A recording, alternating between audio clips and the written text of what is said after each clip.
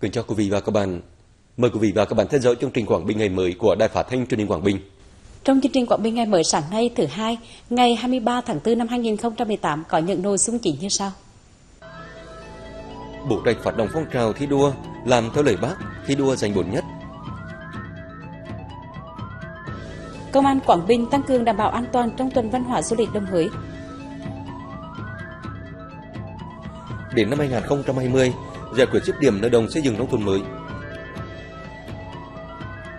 Chuyên mục những bông hoa đời thương có phóng sự người bị thư chi bộ tầm tùy gương mẫu.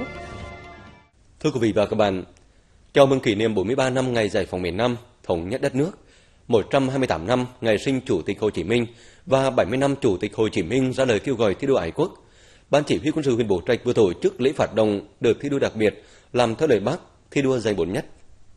Năm 2017, phong trào thi đua kiệt thắng của lực lượng vũ trang huyện tập trung vào các nhiệm vụ chính trị, chủ trọng chất lượng hiệu quả, đổi mới về cả nội dung và hình thức hoạt động. Năm nay, đợt thi đua đặc biệt làm theo lời Bác, thi đua giành bổn nhất được diễn ra trong 40 ngày, từ ngày 1 tháng 5 đến ngày 11 tháng 6 năm 2018. Với bộ nội dung trọng tâm, nhận thức, tư tưởng tốt nhất, thực hiện nhiệm vụ chính trị đạt hiệu quả cao nhất, tổ chức các hoạt động có hiệu quả nhất, xây dựng chính quy, rèn luyện kỷ luật nghiêm nhất. Tại buổi lễ, Ban chỉ huy quân sự huyện cùng các cơ quan, đơn vị dân quân tự vệ đã tiến hành ký kết giao ước thi đua với quyết tâm hoàn thành xuất sắc nhiệm vụ được giao. Công an tỉnh vừa tổ chức huấn luyện bồi dưỡng nghiệp vụ phòng cháy chữa cháy và cứu nạn cứu hộ cho cán bộ chiến sĩ. Tại lớp tập huấn, cán bộ chiến sĩ công an tỉnh được tiếp thu các chuyên đề về công tác phòng cháy chữa cháy, biện pháp phòng cháy chữa cháy và cứu nạn cứu hộ, phương pháp bảo quản, sử dụng phương tiện chữa cháy và cứu nạn cứu hộ. Thông qua tình huống cháy giả định, cán bộ chiến sĩ đã được trang bị kiến thức về cách sử dụng một số phương tiện chữa cháy thông dụng,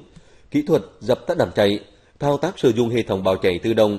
hệ thống cấp nước chữa cháy, phương tiện chữa cháy ban đầu, kỹ năng di chuyển, thoát nạn, cứu người trong đám cháy, phương pháp sơ cứu ban đầu cho người bị nạn. Lớp tập huấn nhằm giúp cán bộ chiến sĩ công an tỉnh nắm vững kiến thức cơ bản về phòng cháy chữa cháy và cứu nạn cứu hộ. Từ đó, làm tổ công tác phòng cháy chữa cháy và cứu nạn cứu hộ tại nơi làm việc, nơi cư trú, đồng thời đẩy mạnh công tác phòng ngừa, hạn chế đến mức thấp nhất thiệt hại do cháy nổ gây ra. Vừa qua, Ngân hàng Chính sách Xã hội chi nhánh Quảng Bình đã tổ chức tập huấn và triển khai công tác cho vay ưu đãi nhà ở xã hội theo Nghị định 100/2015 của Chính phủ, thu hút gần 400 người thuộc các tổ chức chính trị xã hội nhận ủy thác và các thành viên ban quản lý tổ tiết kiệm và vay vốn trên địa bàn thành phố Đồng Hới tham gia. Ngân hàng Chính sách Xã hội chi nhánh Quảng Bình đã hướng dẫn các quy trình thủ tục cho vay để xây dựng mới hoặc cải tạo, sửa chữa nhà ở. Có 5 đối tượng được vay vốn. Trong đó người vay vốn phải tự nguyện gia nhập tổ tiết kiệm và vay vốn, có đủ hồ sơ chứng minh về đối tượng, thực trạng nhà ở, điều kiện cư trú.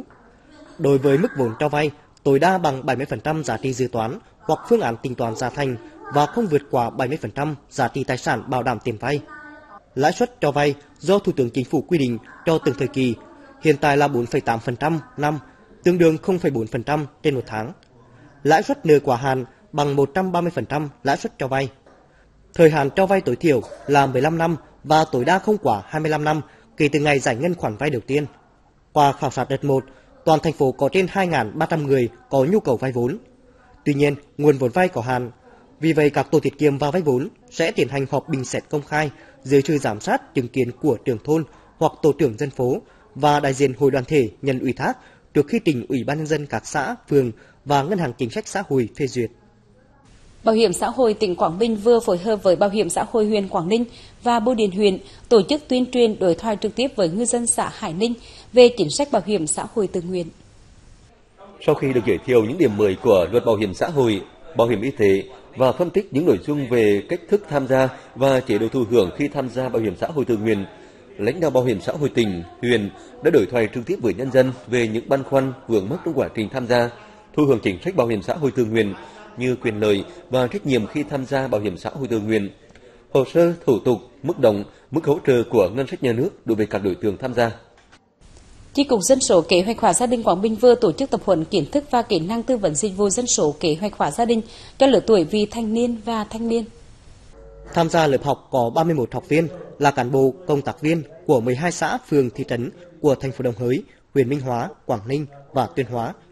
Các học viên được cung cấp kiến thức và kỹ năng tư vấn cho vị thành niên và thanh niên, liên quan đến tâm sinh lý tuổi dậy thì, sức khỏe sinh sản, sức khỏe tình dục, kỹ năng sống và cách bảo vệ chăm sóc sức khỏe của vị thành niên và thanh niên. Bên cạnh đó, các học viên còn được tìm hiểu các phương pháp và hình thức truyền thông sáng tạo chuyên biệt phù hợp với lứa tuổi vị thành niên, thanh niên hiện nay. Hội Liên hiệp Phụ nữ thành phố Đồng Hới vừa phối hợp với ban quản lý chợ thành phố Đồng Hới tổ chức chương trình giao lưu với chủ đề Phụ nữ tiểu thương tiêu biểu thực hiện tốt nếp sống văn minh đô thị năm 2018. Chương trình giao lưu Phụ nữ tiểu thương tiêu biểu thực hiện tốt nếp sống văn minh đô thị năm 2018 được tổ chức nhằm hưởng ứng tháng văn minh đô thị Đồng Hới năm 2018. Đồng thời sơ kịp một năm phong trào dân vận khéo về xây dựng nếp sống văn minh đô thị trong phụ nữ tiểu thương. Trong chương trình, các phụ nữ tiểu thương tiêu biểu đại diện cho chi hội phụ nữ tiểu thương tại các chợ đã chia sẻ, bày tỏ quan điểm, nguyện vọng về nhiều vấn đề liên quan đến phong trào xây dựng nếp sống văn minh đô thị tại các chợ trên địa bàn thành phố. Những năm qua, phụ nữ tiểu thương đã vượt lên những khó khăn vất vả trong hoạt động kinh doanh, buôn bán, luôn nỗ lực lao động sáng tạo, có lối sống văn minh, lịch sự, nuôi dạy con ngoan, xây dựng gia đình hạnh phúc. Thưa quý vị và các bạn, để đảm bảo an ninh trật tự cho các hoạt động trong tuần văn hóa du lịch đồng hới, Phòng Cảnh sát Quản lý Hành chính về trật tự xã hội Công an tỉnh Quảng Bình đã tăng cường công tác tuần tra kiểm soát, đảm bảo an toàn và văn minh đô thị. Hiện nay, lượng khách du lịch đăng ký tour tuyến đến với Quảng Bình trong tuần văn hóa du lịch đồng hới năm 2018 là rất lớn. Các cơ sở kinh doanh lưu trú đã chuẩn bị đầy đủ các điều kiện cần thiết để phục vụ tốt nhất cho nhu cầu của du khách. À, bên cạnh cả cái uh, chuẩn bị về nhân sự về cơ sở vật chất thì um, bên em cũng rất là quan tâm tới các vấn đề như là an toàn vệ sinh thực phẩm phòng cháy chữa cháy và an toàn trật tự lao động của nhân cán một trăm nhân viên À, trong vòng tháng 3 tháng 4 thì bên em đã à, tham gia các khóa đào tạo tổ chức do um, phòng cháy chữa cháy um, bên chủ an toàn vệ sinh thực phẩm. À, bên cạnh đó thì vấn đề quan tâm nhất của khách du lịch khi về đến Quảng Bình là giá cả thì hiện tại bên em chấp hành rất tốt cái bình ổn giá à, niêm yết giá công khai và không tăng giá vào cái ngày lễ để công tác đăng ký quản lý khách du lịch trong nước cũng như quốc tế đến với Đồng Hới trong mùa du lịch năm nay, Phòng Cảnh sát Quản lý Hành chính về trật tự xã hội Công an tỉnh Quảng Bình đã có kế hoạch, phương án cụ thể trong việc phối hợp kiểm tra, nhắc nhở, hướng dẫn các cơ sở lưu trú, nhất là các cơ sở mới đi vào hoạt động. Việc đăng ký, quản lý lưu trú cho du khách được thực hiện một cách nhanh chóng, hiệu quả, đúng quy định của pháp luật, đảm bảo an ninh, an toàn cho cơ sở kinh doanh, đảm bảo quyền lợi tối đa cho du khách đúng pháp luật nhưng không gây phiền hà cho du khách. À, để đảm bảo cho đúng cái cái quy trình đó, thì là khách vào thì là đăng ký luôn. Thì để có thể là nhập phải là mất thời gian thêm một lần nữa nhưng mà các bạn cũng đã làm rất là tốt để là đảm bảo cái nội quy quy định của của nhà nước. Cơ bản là các cơ sở thực hiện tốt các cái ờ, công tác đảm bảo an ninh trật tự tại cơ sở ví dụ như có cái bãi đổ xe cũng như là ờ, các cái nội quy cũng như sơ đồ và công tác hướng dẫn khách nhưng mà thường có cái vi phạm và thực hiện không đầy đủ đó là trong cái công tác đăng ký khách à, qua công tác nắm tin hình và đồng thời qua cái công tác À, hướng dẫn cũng như là đôn đốc nhắc nhở thì đã phát hiện và đồng thời là à, cũng đã chấn chỉnh kịp thời. Cùng với việc tăng cường công tác quản lý lưu trú cho du khách tại các cơ sở kinh doanh lưu trú, Phòng Cảnh sát Quản lý Hành chính cũng đã đẩy mạnh tuần tra, kiểm soát trật tự giao thông đô thị trên địa bàn thành phố Đồng Hới, xử lý nhắc nhở các hành vi vi phạm lấn chiếm hành lang, lòng lề đường, hành lang giao thông cho người đi bộ. Chúng tôi chủ động là cái công tác đảm bảo trật tự công cộng tại các cái ờ, khu vực mà ờ, tập trung nhiều cái cơ sở kinh doanh lưu trú và diễn ra nhiều cái hoạt động ờ, kinh doanh du lịch để ờ, đảm bảo giữ gìn cái ờ, vẻ đẹp của đô thị, rồi là cái trật tự mỹ quan, để ờ, tạo điều kiện cho người dân khắp mọi miền đất nước khi đến đây du lịch có một cái cảm giác là thuận lợi, an toàn. Còn về cán bộ chiến sĩ thì chúng tôi thường xuyên là giáo dục ừ, tăng cường công tác giáo dục chính trị tư tưởng tư thế lễ tiết tác phong trong cái khi tiếp xúc với doanh nghiệp cũng như tiếp xúc với người dân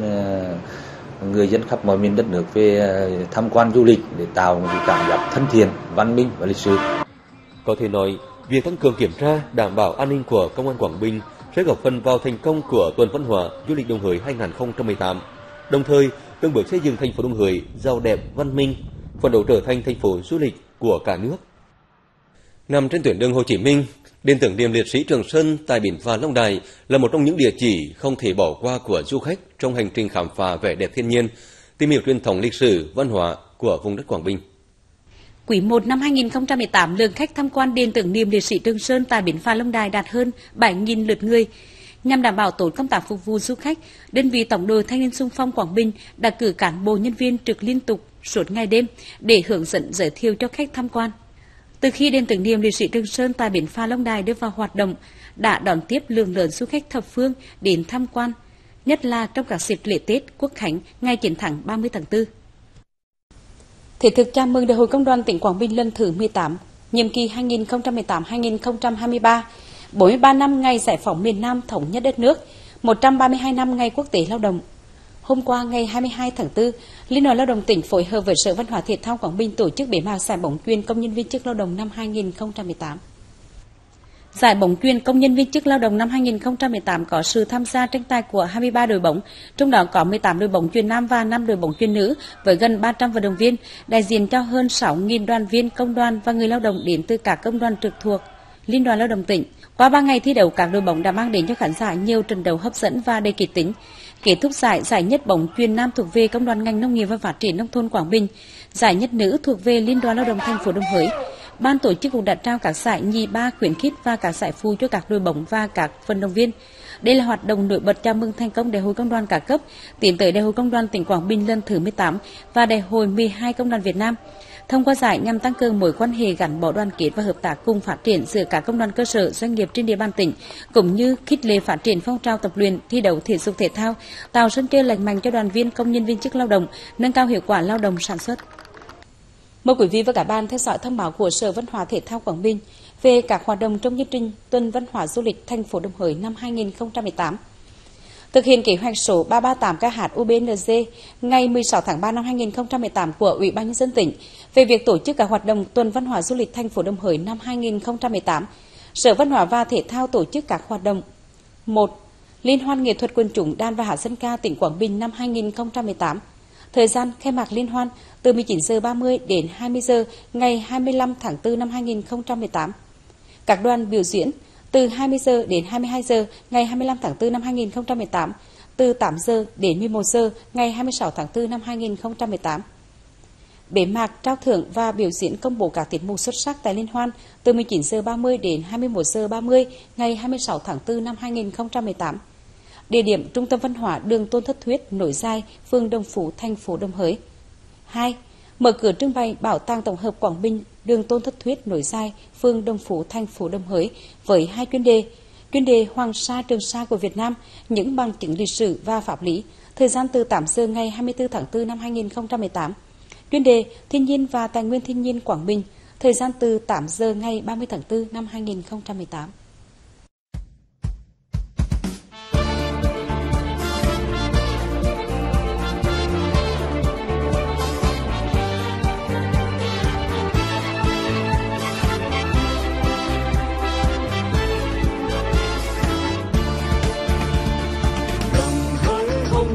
cùng lên sức sống mới từng đàn chim bay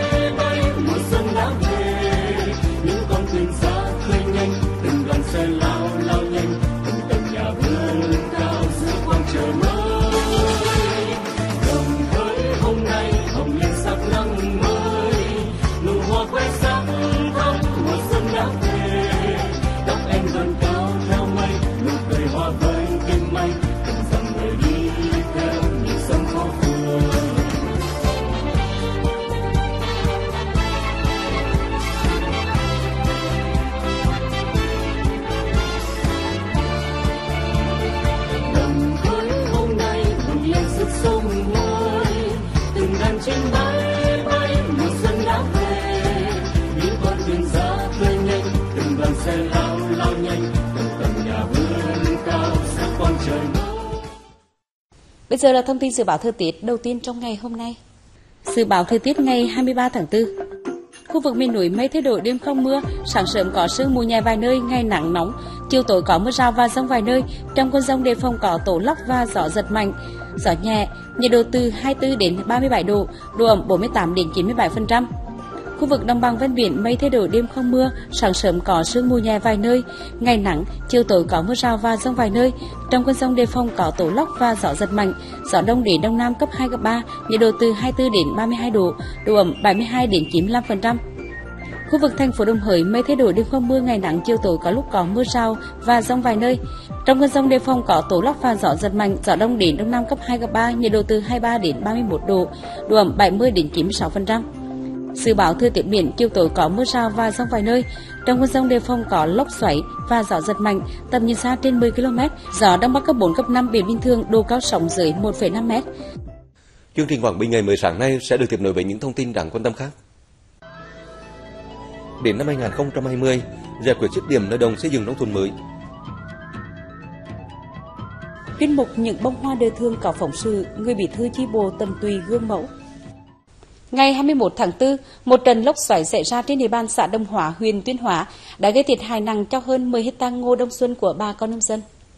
Mưa rông kèm theo lốc xoáy với cường độ mạnh đã làm gãy đổ hơn 10 hecta ngô đông xuân gần đến kỳ thu hoạch nằm rải rác trên địa bàn toàn xã. Theo người dân, do số lượng ngô gãy đổ nhiều nên các gia đình không thể tự xử lý. Hiện tại xã Đông Hóa đang tích cực liên hệ với các đơn vị thu mua ngô sinh khối để thu mua cho bà con.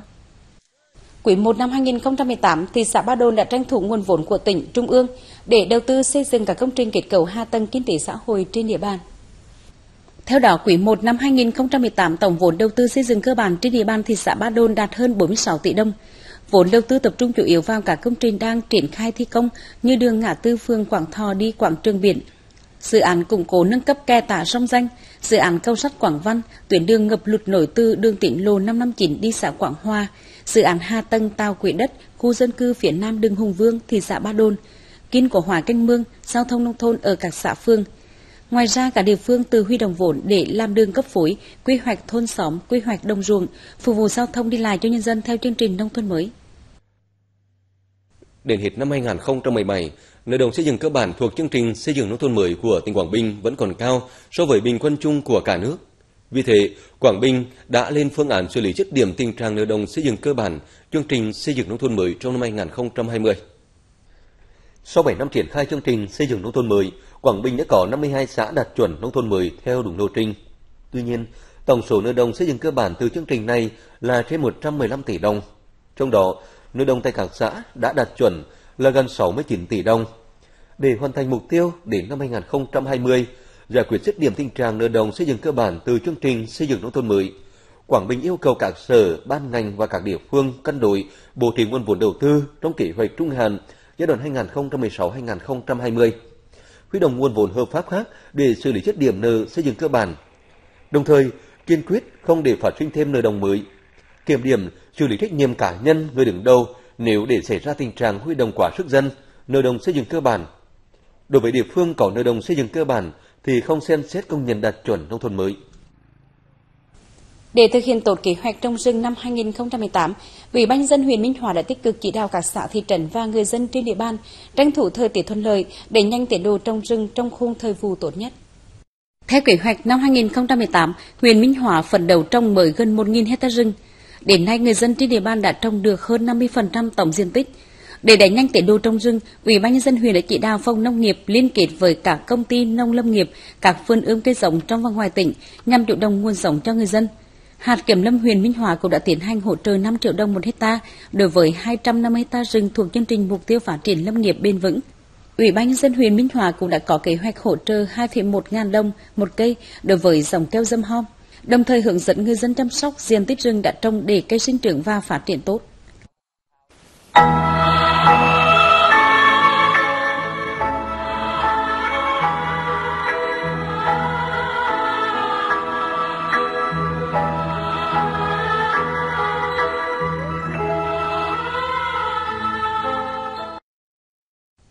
quý vị và các bạn, ở xã Đức Hòa, huyện miền núi Tuyên Hóa, không ai là không biết ông Đoàn Xuân Hòa, bí thư chi bộ thôn Đồng Lâm. Người dân trong thôn gọi ông là người bí thư chi bộ mẫu mực. Trong chuyên mục những bông hoa để thường hôm nay, chúng tôi xin giới thiệu đôi nét về người bí thư chi bộ rất đỗi bình dị và tận tụy này. Đã nhiều năm nay, người dân thôn Đồng Lâm được sống trong bình yên bởi tình hình an ninh trật tự ở đây luôn được giữ vững. Có được kết quả này là nhờ sự đoàn kết, nỗ lực của chính quyền và nhân dân địa phương. Trong đó có sự đóng góp không nhỏ của bí thư chi bộ thôn, ông Đoàn Xuân Hòa. Trong vai trò là người đứng đầu chi bộ, ông Hòa luôn khắc ghi lời dạy của Chủ tịch Hồ Chí Minh, dân vận khéo thì việc gì cũng thành công. Bởi vậy, ông thường xuyên đến tận nhà mỗi cán bộ, đảng viên và người dân trong thôn để tuyên truyền, vận động, giúp mọi người hiểu rõ hơn mục đích, ý nghĩa và tầm quan trọng của công trình thắp sáng đường quê đối với đời sống của người dân vùng nông thôn.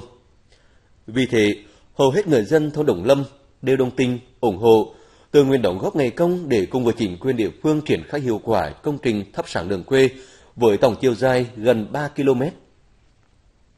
Trong quá trình ờ, vận động thì cũng ờ, gặp nhiều khó khăn ờ, ở chỗ là mức sống bình quân của bà con thì cũng vẫn nó còn thấp, do đó là phải đóng góp tiền thì cũng khó khăn thế nhưng mà cũng phân tích cái lợi ích đưa đến cho bà con thì bà con hiểu được và cũng để nhiệt tình hưởng ứng cái phong trào và tham gia cái hiến công để hiến của để tiến hành thắp sáng đường quê nhằm cái mục đích là chiếu sáng đường để bà con đi lại thuận tiện và uh, cũng có phần để bảo vệ bảo đảm cái an ninh trật tự của thôn xóm vào ban đêm để đảm bảo cái sự bình yên cho mọi nhà để ờ, an tâm về cuộc sống của mình. Cái hành động của đồng chí ừ, Đoàn Xuân Hoa làm đó là bà con rất đồng tình và hưởng ứng khi mà đồng chí có cần nhân giúp những cái gì thì có chứ bà con có đều cũng là đồng tâm hợp lực để là cùng với đồng chí để là xây dựng cái nông thôn ngày một rất là đẹp thêm và là kháng trang thêm. Từng là một sĩ quan quân đội đảm nhận nhiệm vụ sửa chữa và chỉ tàu máy móc, nay xuất ngũ trở về với quê hương, ông Đoàn Xuân Hòa luôn dành hết tâm huyết cũng như kinh nghiệm của mình để phục vụ nhân dân. Bất cứ ai trong thôn khi có những vật dụng thiết yếu bị hỏng hóc đều được ông tiếp nhận và sửa chữa hoàn toàn miễn phí. Khi được hỏi về nghĩa cử cao đẹp đó, ông Hòa tâm sự,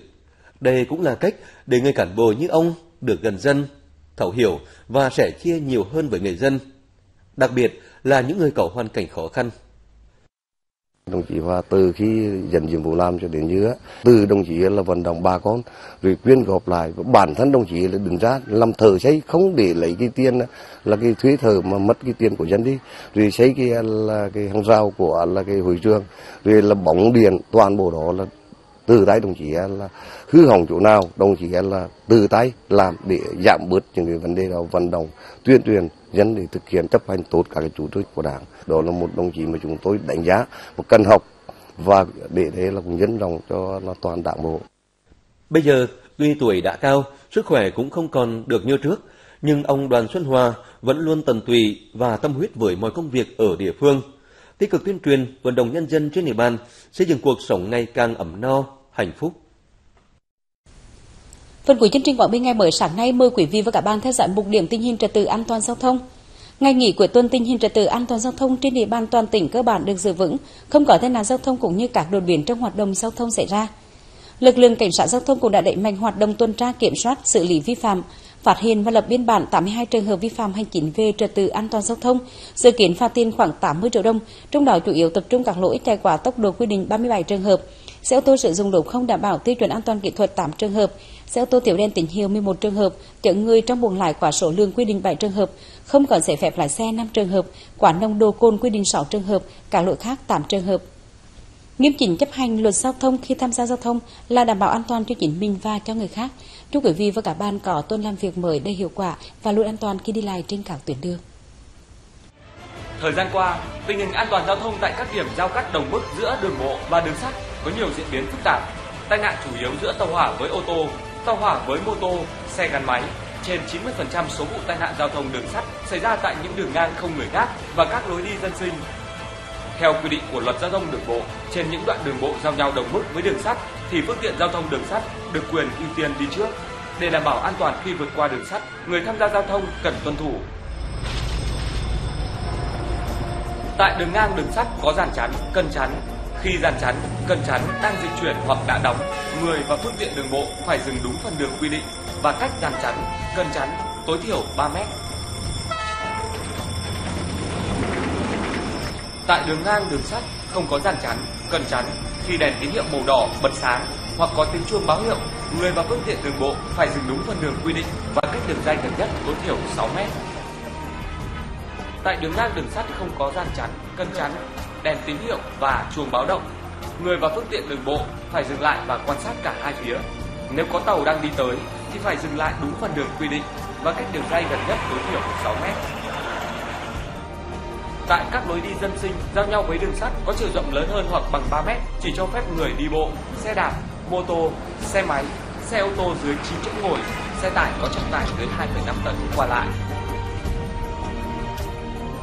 Tại các lối đi dân sinh giao nhau với đường sắt có chiều rộng nhỏ hơn 3 mét, cấm các phương tiện giao thông cơ giới đường bộ qua lại, trừ mô tô, xe máy. Người và phương tiện đường bộ đến các vị trí này phải chú ý quan sát cả hai phía, chỉ vượt qua đường sắt khi chắc chắn không có tàu đang tới. Hãy biết dừng đúng lúc khi qua đường sắt. Chương trình Quảng Bình ngày 10 sáng nay xin được kết thúc tại đây. Cảm ơn quý vị và các bạn đã quan tâm theo dõi. Sau đây là thông tin về thời tiết. Dự báo thời tiết ngày 23 tháng 4. Khu vực miền núi mây thay đổi đêm không mưa, sáng sớm có sương mù nhẹ vài nơi, ngày nắng nóng, chiều tối có mưa rào và rông vài nơi, trong cơn rông đề phòng có tổ lốc và gió giật mạnh. Gió nhẹ, nhiệt độ từ 24 đến 37 độ, độ ẩm 48 đến 97%. Khu vực đồng bằng ven biển mây thay đổi đêm không mưa, sáng sớm có sương mù nhẹ vài nơi, ngày nắng, chiều tối có mưa rào và rông vài nơi. Trong cơn rông đề phòng có tố lốc và gió giật mạnh, gió đông đến đông nam cấp 2 cấp 3, nhiệt độ từ 24 đến 32 độ, độ ẩm 72 đến 95%. Khu vực thành phố Đồng Hới mây thay đổi đêm không mưa, ngày nắng, chiều tối có lúc có mưa rào và rông vài nơi. Trong cơn rông đề phòng có tố lốc và gió giật mạnh, gió đông đến đông nam cấp 2 cấp 3, nhiệt độ từ 23 đến 31 độ, độ ẩm 70 đến 96%. Dự báo thời tiết biển chiều tối có mưa rào và rông vài nơi. Trong cơn rông đề phòng có lốc xoáy và gió giật mạnh, tầm nhìn xa trên 10 km. Gió đông bắc cấp 4 cấp 5 biển bình thường, độ cao sóng dưới 1,5 m. Dự báo thời tiết đêm 23 ngày 24 tháng 4, mây thay đổi đêm không mưa, ngày nắng nóng, chiều tối có mưa rào và rông vài nơi. Trong cơn rông đề phòng có tố lốc và gió giật mạnh, gió đông nam cấp 2 cấp 3, nhiệt độ từ 24 đến 37 độ, độ ẩm